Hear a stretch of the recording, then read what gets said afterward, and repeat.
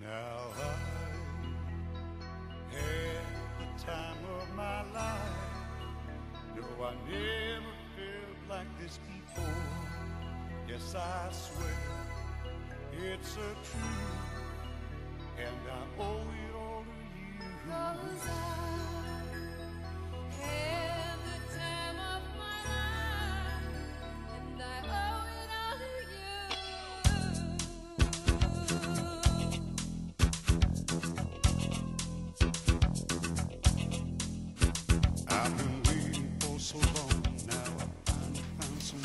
Amanda.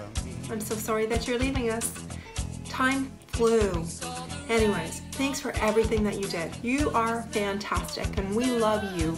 And I'm not going to say goodbye because I know we're going to see you again. Have a wonderful summer and thanks again for everything.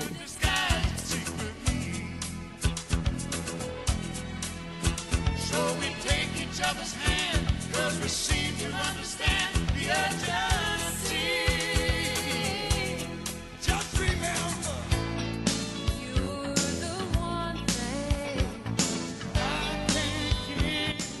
Hi, Amanda. I just wanted to say I'm really to miss you. Your smiling face and your positive attitude always made my day. I wish you and your family good health and happiness during this uh, unprecedented time, and I look forward to seeing you again in September.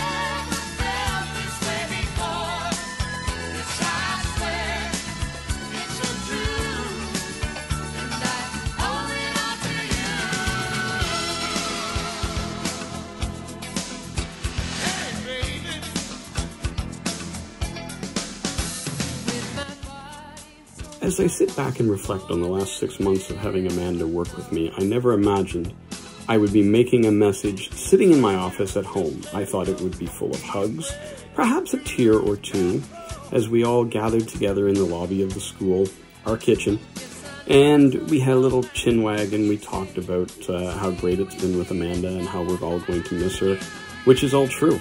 We are going to miss you immensely, Amanda.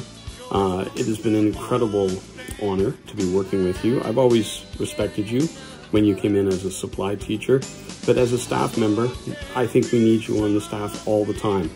You're dedicated, you're focused, you have a real way with uh, with everybody at school, and uh, we're really going to miss you. So maybe when this is all over, we can all hang out in your backyard and uh, have a wonderful little summer get together with you. Or we could do it at somebody else's backyard, but hey, we might as well go to yours.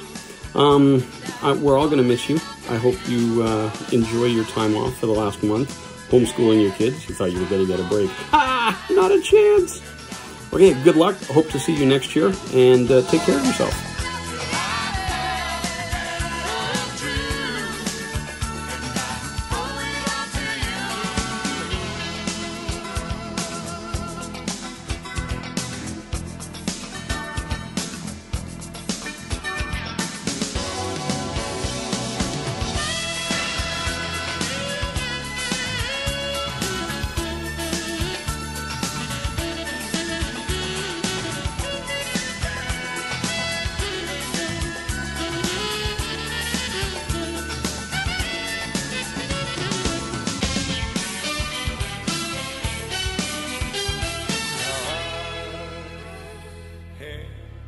Time of my life.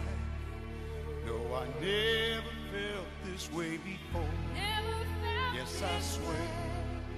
it's a truth, and I hope